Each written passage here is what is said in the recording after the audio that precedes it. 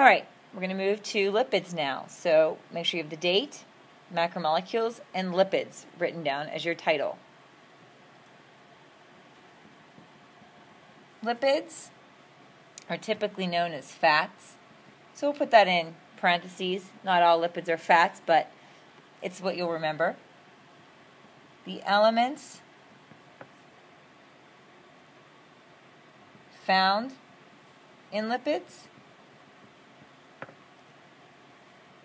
They are C, H, and O. That is carbon, hydrogen, and oxygen. Not in a ratio.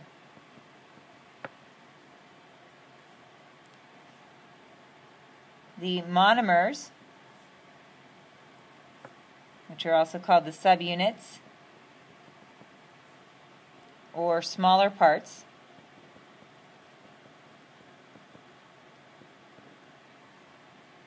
are called fatty acids. And these fatty acids are going to be making up the bigger lipids.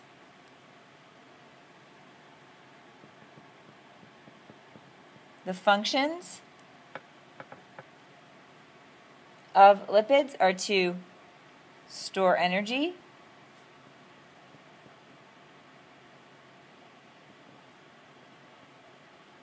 for a longer time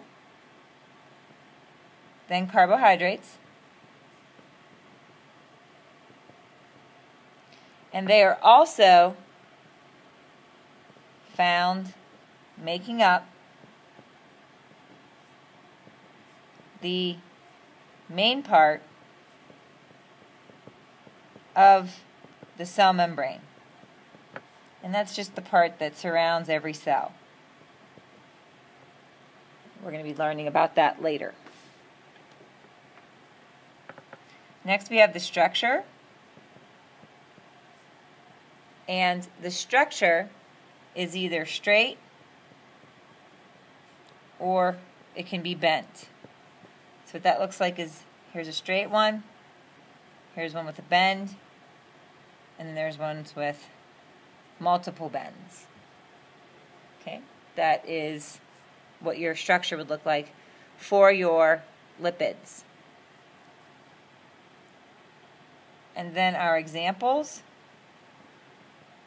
of lipids.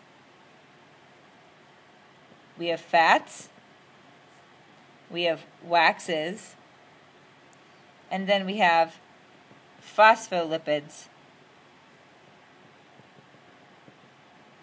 And those are the ones in the cell membrane. They're the cell membrane lipids. So we'll put that in parentheses.